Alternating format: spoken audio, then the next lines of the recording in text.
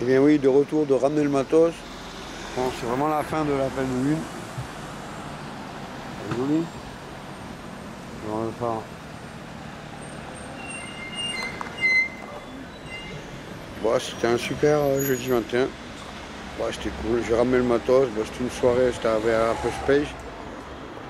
Bon, c'est pas grave. C'était pas mal. Là, j'ai une, une méga envie de pisser. Je sais pas comment je vais faire.